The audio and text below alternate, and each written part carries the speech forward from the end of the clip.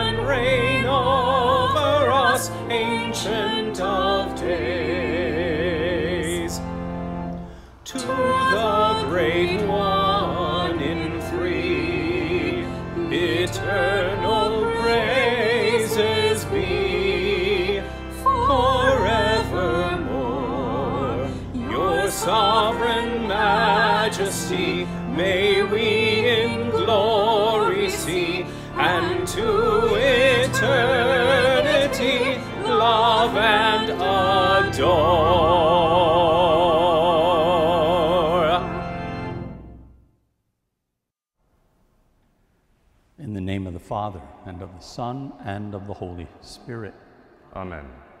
the grace and peace of our Lord Jesus Christ, the love of God, the communion of the Holy Spirit be with you. And with your spirit, Thank you for joining us for Mass today. We're here at the Church of St. Paul the Apostle in New York City.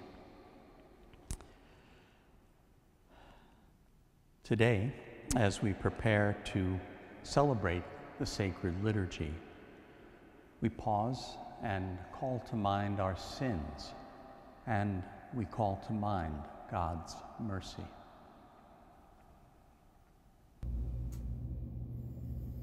Lord Jesus, you came to gather the nations into the peace of God's kingdom. Kyrie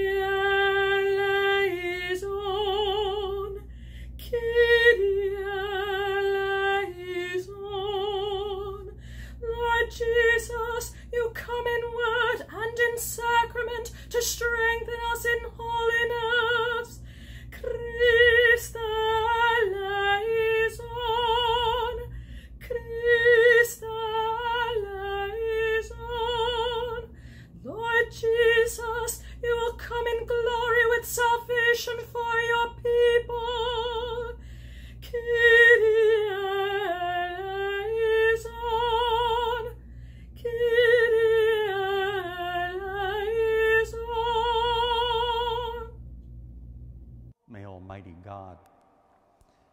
forgive our sins and bring us to life everlasting.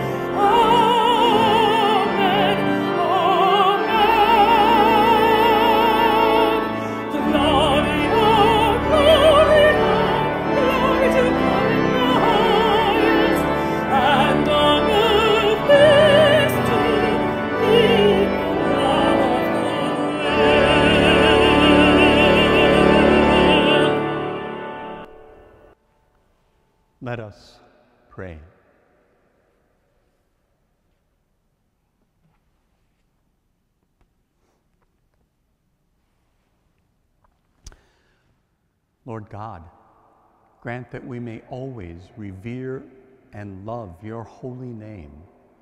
For you never deprive of your guidance those you set firm on the foundation of your love. Through our Lord Jesus Christ, your Son, who lives and reigns with you in unity of the Holy Spirit, one God, forever and ever.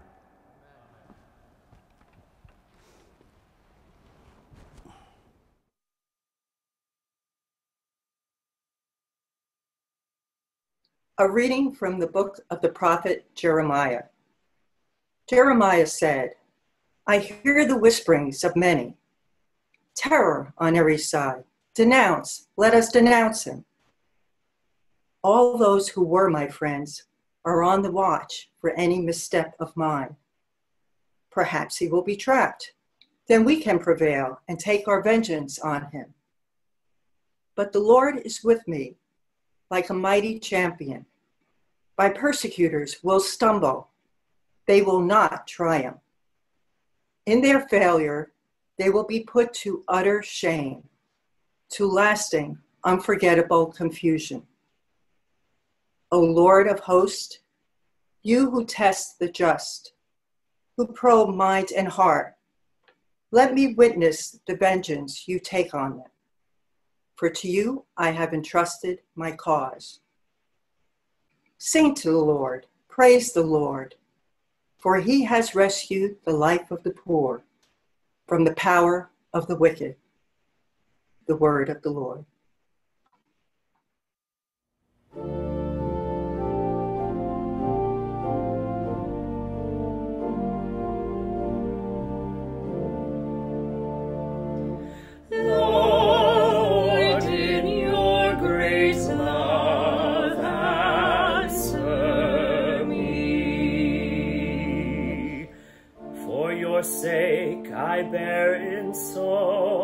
And shame covers my face. I have become an outcast to my brothers, a stranger to my mother's children, because zeal for your house consumes me, and the insults of those who blaspheme you fall upon me. Lord,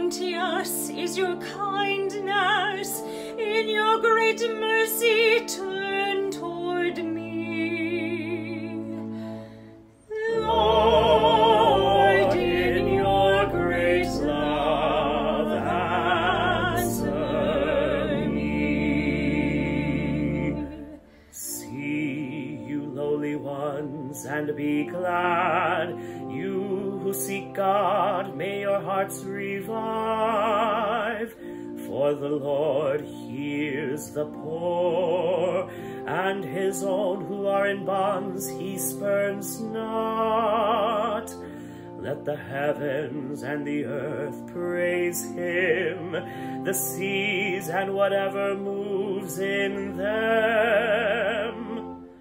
Lord, in your great love, answer me.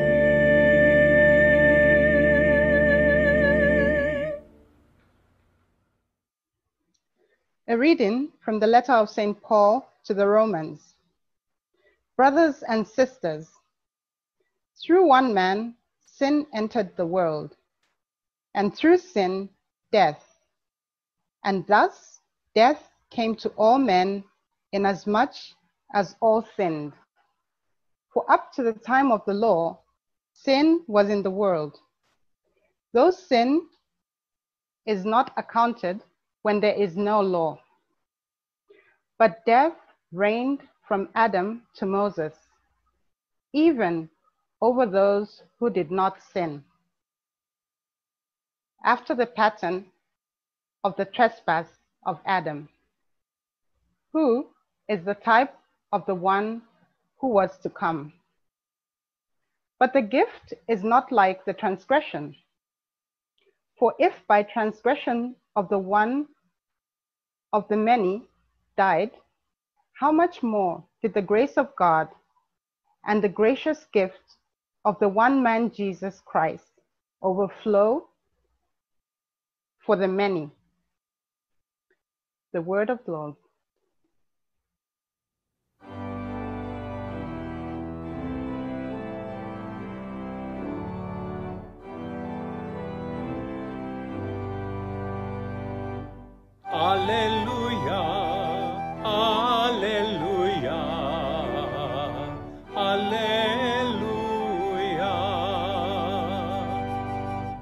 The Spirit of truth will testify to me, says the Lord, and you also will testify. Alleluia. Alleluia. Alleluia.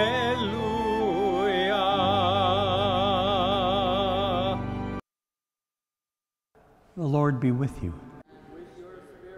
A reading from the Holy Gospel according to Matthew. Jesus said to the twelve, Fear no one. Nothing is concealed that will not be revealed, nor secret that will not be known. What I say to you in darkness, speak in the light. What you hear whispered, proclaimed on the housetops. And do not be afraid of those who kill the body, but cannot kill the soul.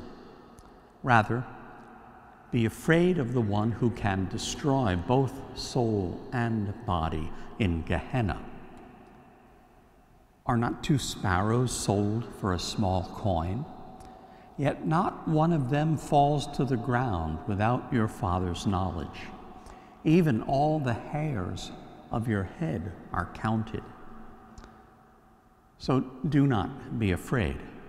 You are worth more than many sparrows. Everyone who acknowledges me before others, I will acknowledge before my heavenly Father. But whoever denies me before others, I will deny before my heavenly Father. The Gospel of the Lord.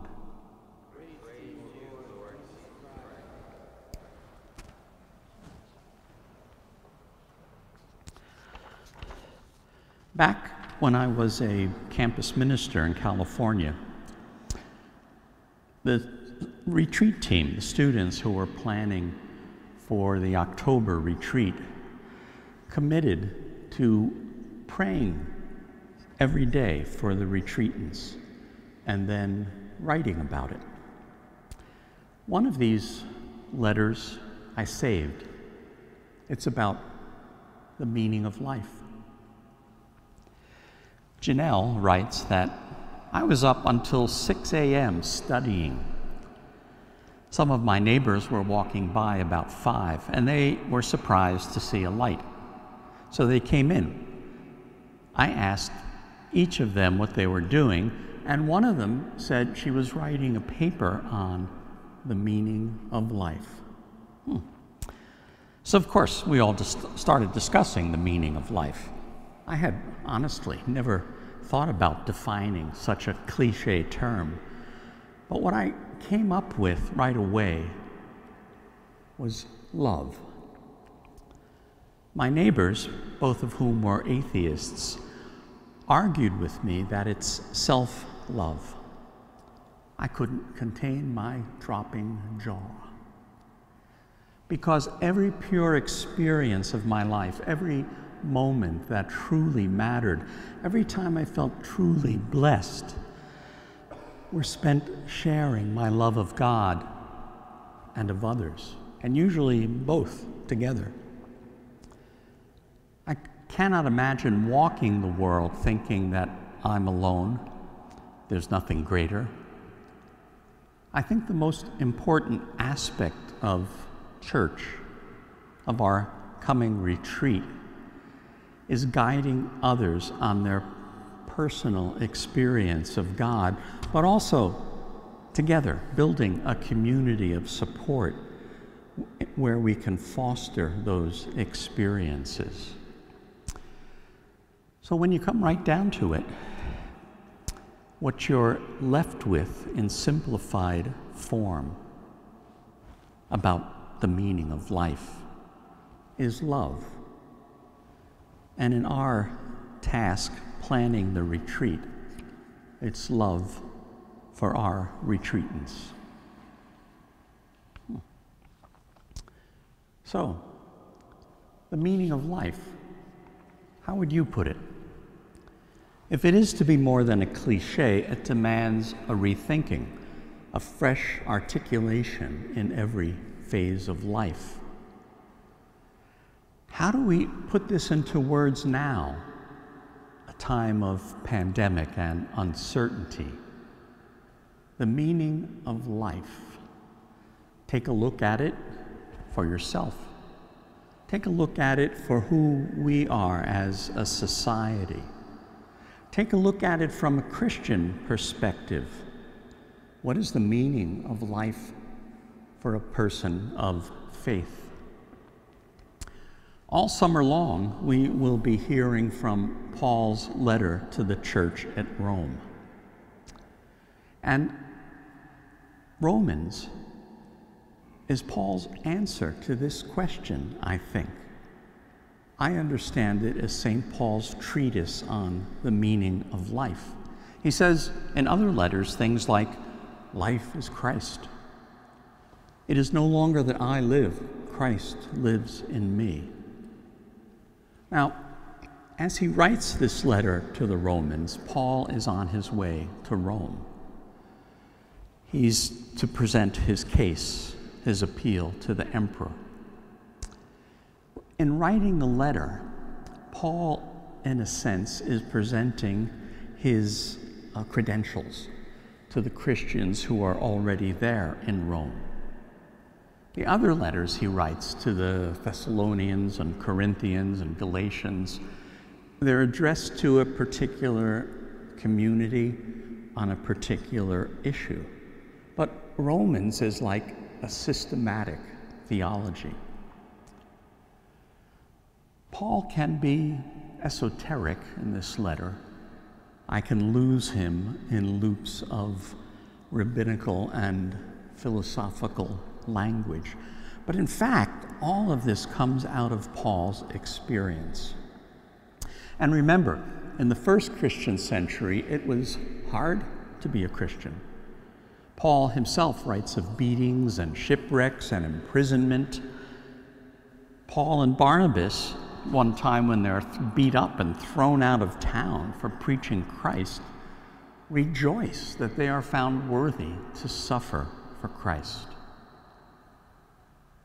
In the letter to the Romans, Paul writes of his excitement about the new faith, of his out, of the outpouring of the gifts of the Holy Spirit on his community, powerful preaching, healing, lively praise, prophecy, discernment, new life. So, as I said, all summer we'll be hearing from the letter to the Romans. Now, I know that preachers often ignore the second reading. Uh, except lectors, of course, have to immerse themselves in the Word to proclaim it well. And thank you, lectors. But preachers more often are drawn to the gospel parallels. They're stories, they're images. And that way, they're easier to read and they're easier to reflect on.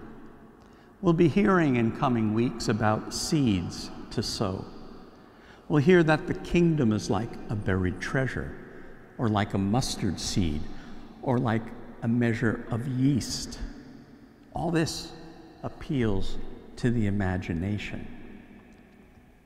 So, I don't know if any of our preachers will be inspired to delve into Romans this summer, so I recommend it to you. You could read it in an hour, but it needs to be chewed on and digested well and reflected on, and then brought to our own Christian experience. What will we find? Well, first of all, we find some straight talk about the human condition. We're all under the domination of sin. In another letter, Paul bemoans the good that I would do, somehow I don't. And the bad things I don't want to do, sometimes I do them. He knows how much he needs Christ. A second point very strong. God saves through Jesus Christ. It's not all about me, it's not about my efforts. It's about God's love and God's power. In chapter 3 of Romans, he writes, While we were still sinners, Christ died for us. Paul talks about God's righteousness this is the way that God is God's way of righting wrongs, God's love forever. As we read these things in Romans, apply it. Let the word speak to your life, critique your values. We have a good opportunity to take a look at life this summer. Black Lives Matter challenges us to take a deeper look at justice in our society. So, if we believe that we're created equal, do our attitudes and laws and the way we spend money as a country, all that reflect the truth? If we see a pattern of sin embedded in society. Do we repent? That's an important question the U.S. bishops asked in their recent letter against racism. Open wide your hearts. There's also challenge and opportunity because of the pandemic. It's easy enough to think, well, I'm okay. But think also about the common good. Who gets left behind in these days? Our response to both crises will reveal who we are and what we really believe. The third thing in Romans faith. Paul cites the example of Abraham, who believed his experience of God and then set out not knowing where he was going. What's your response to your experience of God? Paul, in his critique of how the law of Moses was observed, his critique of its shortcomings, strongly asserts that, well, the lesson of this is that we cannot save ourselves. He asserts that it is faith in Christ. A fourth important theme is justification. Now, this was a big issue in the Protestant Reformation 500 years ago faith and works, scripture and tradition. Well, about 20 years ago, we finally worked this out with the Lutherans and came up with a beautiful document agreeing that we're looking at the same mystery, but just starting at different ends. Justification.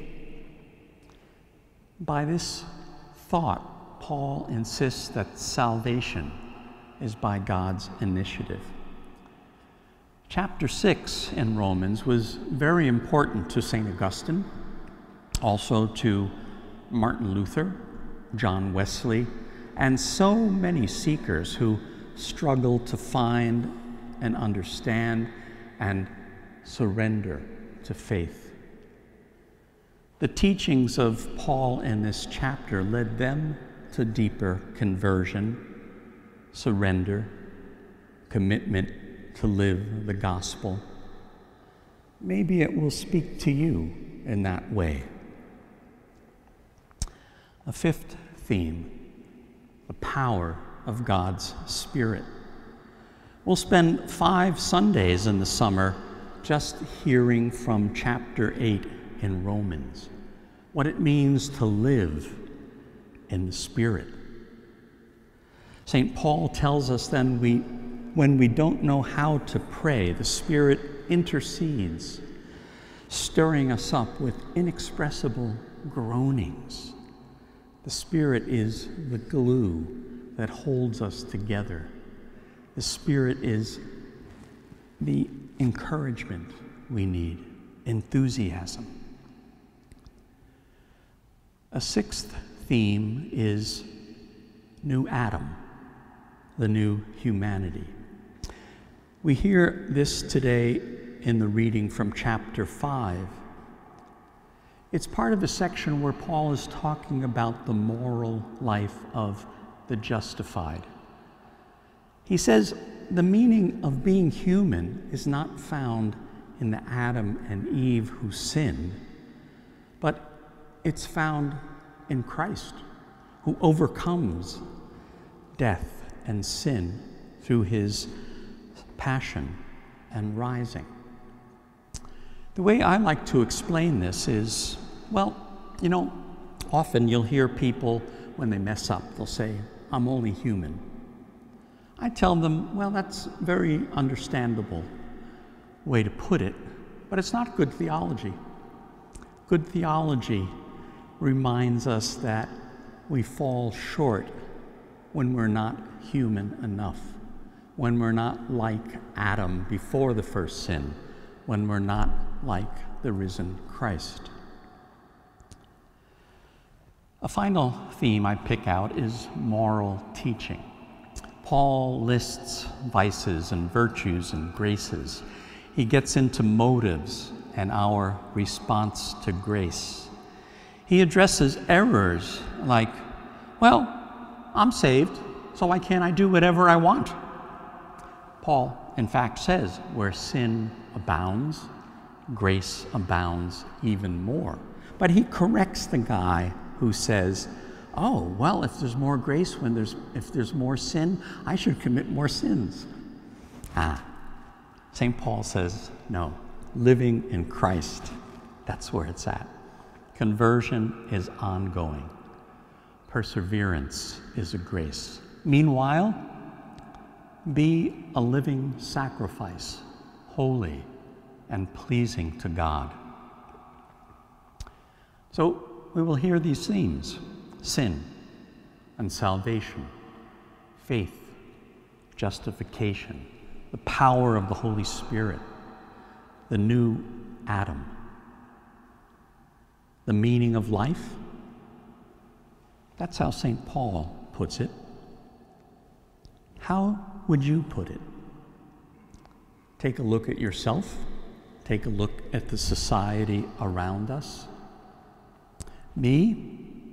Well, I'm very glad to be in good company with our retreat leader, Janelle, and with St. Paul, and with so many Christians over the centuries alive, being saved in the Spirit.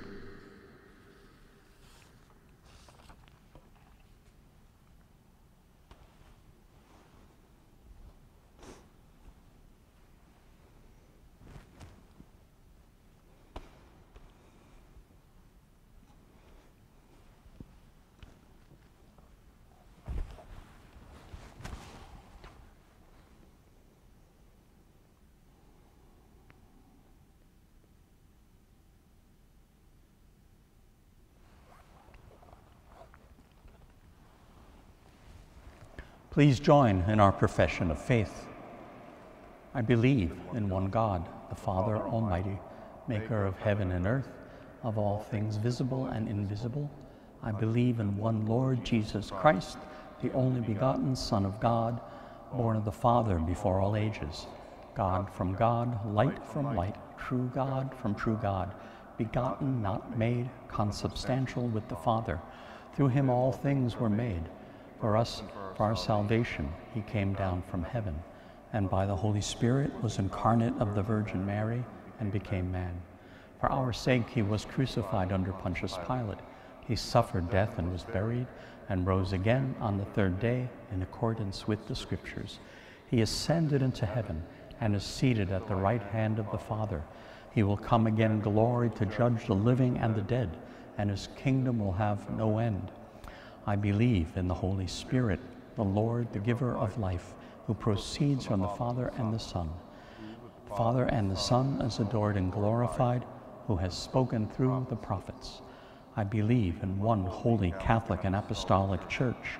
I confess one baptism for the forgiveness of sins. I look forward to the resurrection of the dead and the life of the world to come.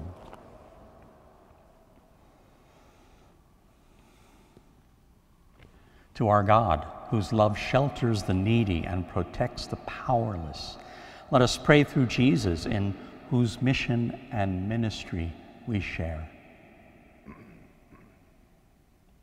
For the church throughout the world, may followers of Christ not be afraid to stand up to injustice, but rather proclaim the good news from the housetops.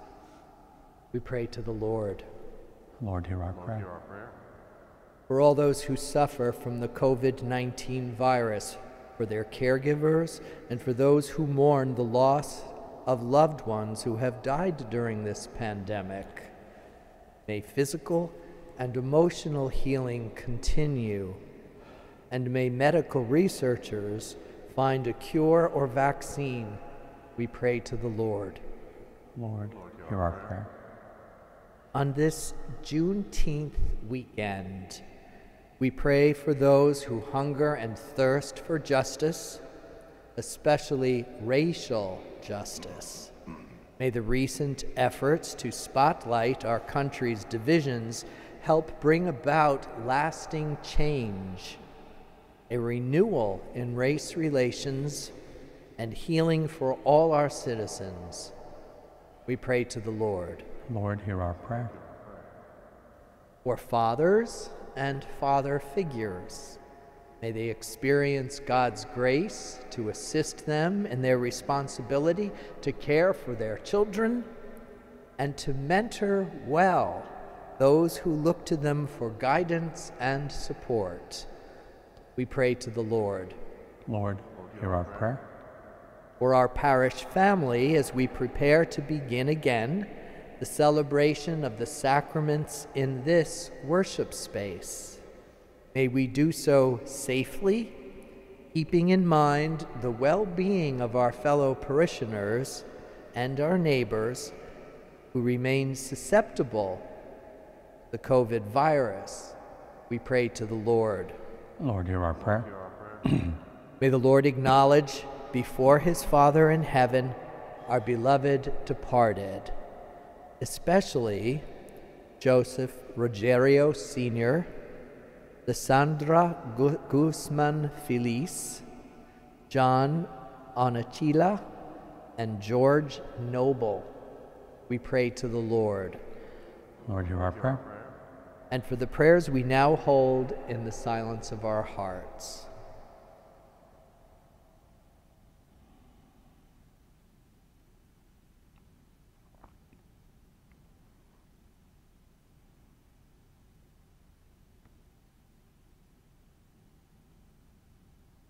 May these prayers be joined to the prayers of our patron, St. Paul, and servant of God, Isaac Hecker.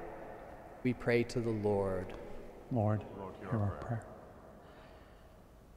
Hear these needs we bring to you today, O God. Help us imitate your Son who trusted that you always heard his prayers. We pray this in the name of your Son, the one we confess as Lord, Jesus Christ, your Son, who lives and reigns with you and the Holy Spirit, one God, forever and ever. Amen.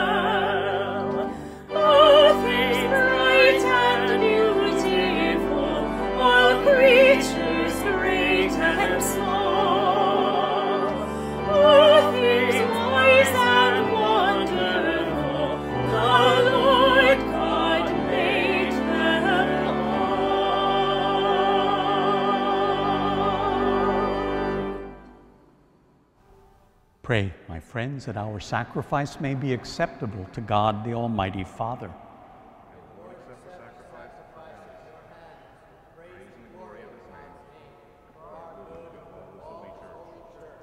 Lord, receive the sacrifice of conciliation and praise, and grant that, cleansed by its action, we may make offering of a heart pleasing to you through Christ our Lord. The Lord be with you. Lift up your hearts. Let us give thanks to the Lord our God. It is truly right and just, our duty, our salvation, always and everywhere to give you thanks, Lord, Holy Father, Almighty and eternal God, through Christ our Lord. His death we celebrate in love, his resurrection we confess with living faith, and his coming in glory we await with unwavering hope. And so, with all the angels and saints, we praise you as without end we acclaim.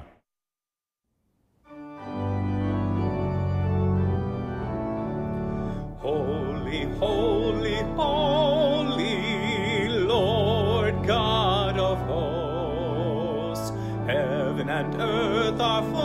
of your glory. Hosanna in the highest. Hosanna in the highest. Blessed is he who comes in the name, who comes in the name of the Lord.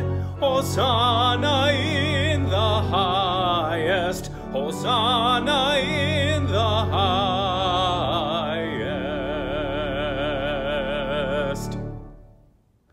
You are indeed holy, O Lord, the fount of all holiness. Make holy, therefore, these gifts, we pray, sending down your Spirit upon them like the dewfall, that they become for us the body and blood of our Lord Jesus Christ. At the time he was betrayed and entered willingly into his passion, he took bread, giving thanks, broke it, gave it to his disciples. Take this, all of you, and eat of it, for this is my body, which will be given up for you.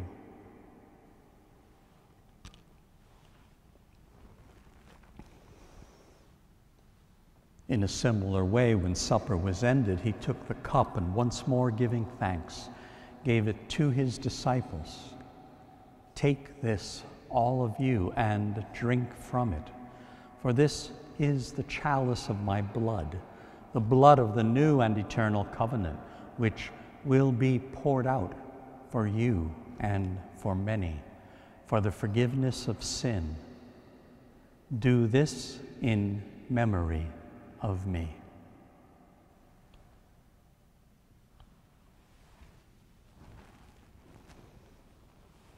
The mystery of faith.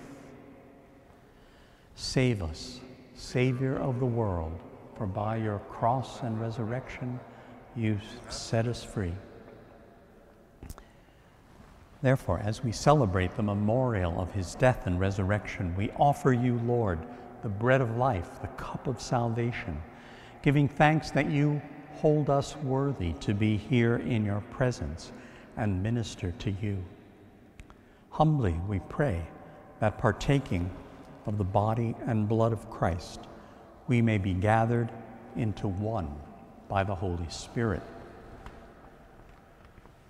Remember, Lord, your church, spread throughout the world, and bring her to the fullness of charity, together with Francis our Pope Timothy our bishop, and all the clergy.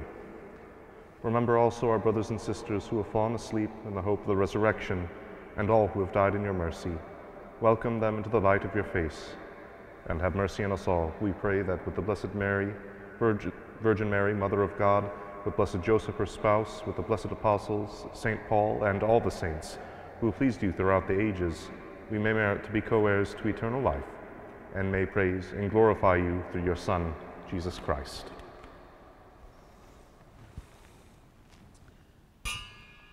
Through him and with him and in him, O God, Almighty Father, in the unity of the Holy Spirit, all glory and honor is yours forever and ever. Amen. We pray for the coming of the kingdom as Jesus taught us. Our Father, who art in heaven, hallowed be thy name. Thy kingdom come, thy will be done, on earth as it is in heaven. Give us this day our daily bread, and forgive us our trespasses, as we forgive those who trespass against us. And lead us not into temptation, but deliver us from evil. Deliver us, Lord, from every evil. Grant us peace in our day. In your mercy, keep us free from sin. Protect us from all distress as we wait the blessed hope, the coming of our Savior, Jesus Christ.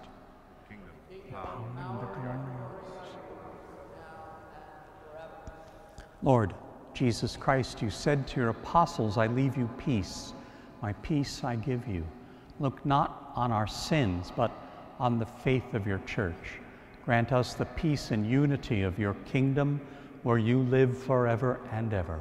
Amen. The peace of the Lord be with you. We share a sign of Christ's peace.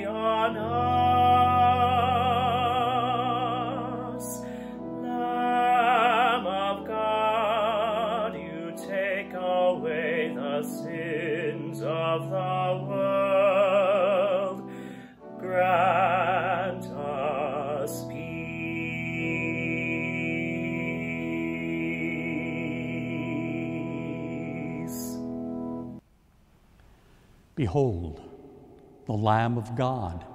Behold him who takes away the sins of the world. Happy are we who are called to the supper of the Lamb.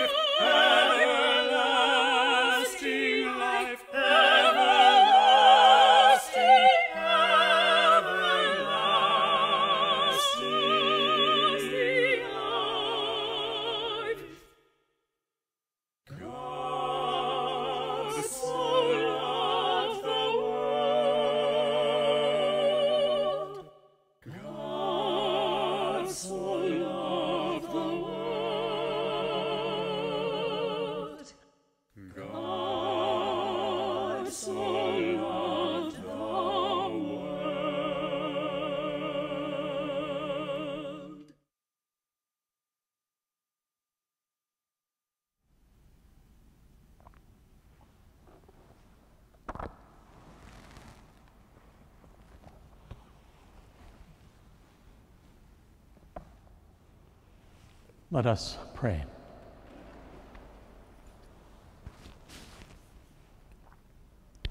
O Lord, renewed and nourished by the sacred body and precious blood of your Son, we ask of your mercy that what we celebrate with devotion may be our sure pledge of redemption.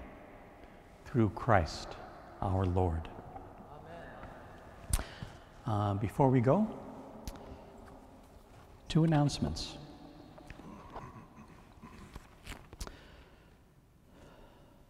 Our um, gay, lesbian, tra uh, transgender, bisexual support group uh, out at St. Paul's uh, will be here for a Pride Mass. Well, we'll be virtually here online.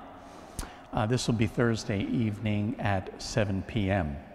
And check the website for further information. We'll be uh, live streaming it on the parish Facebook page.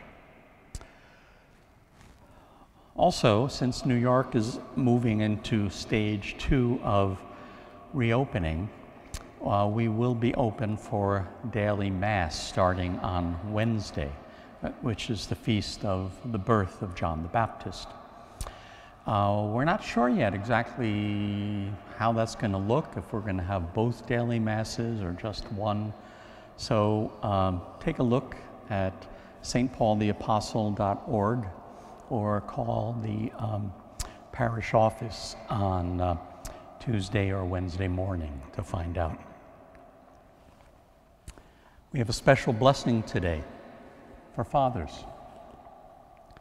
And if you're at home with your father, grandfather, with the father of your children, you might join in the blessing by laying a hand on them and asking the blessing. God, our Father, in your wisdom and love you made all things. Bless these men that they be strengthened as Christian fathers. Let the example of their faith and love shine forth. And grant that we, their sons and daughters, may honor them always with a spirit of profound respect. We ask this through Christ our Lord. Thank you all for joining us in prayer today. As public masses um, resume, we still will be uh, live streaming the Mass. And remember um, that the obligation to attend in person is still uh, suspended. So that's left up to your best judgment. But in any case, make holy the Lord's Day. That's for everybody, every Sunday. The Lord be with you. May the blessing of Almighty God, the Father, the Son, the Holy Spirit remain with you forever. Let us go in peace to proclaim the gospel with our lives. Thanks be to God.